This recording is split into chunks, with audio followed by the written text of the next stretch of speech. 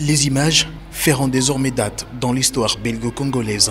Après l'étape de Kinshasa, pour la première fois, le roi Philippe a foulé les sols de la ville de Lubumbashi. Sur le tapis rouge, le couple royal a été accueilli par les gouverneurs des provinces du Haut-Katanga, Jacques Kabula Katoé, le premier ministre congolais, Jean-Michel Samalou Kondé. Les musiciens de la garde présidentielle ont aussi décoré la cérémonie purement solennelle. Après les salutations chaudes avec les officiels congolais, le couple royal est resté suspendu à la danse folklorique.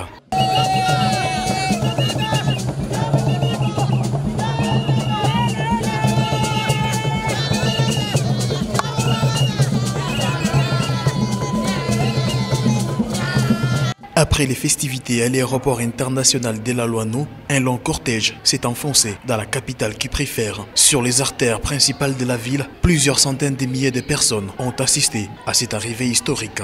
Au bord de la route, en voiture ou en moto, les Louchois ont réservé un accueil chaleureux et populaire au couple royal, preuve de la ferveur autour de cette visite. Cette banderole à l'effigie du roi de la reine, nous vous souhaitons la bienvenue.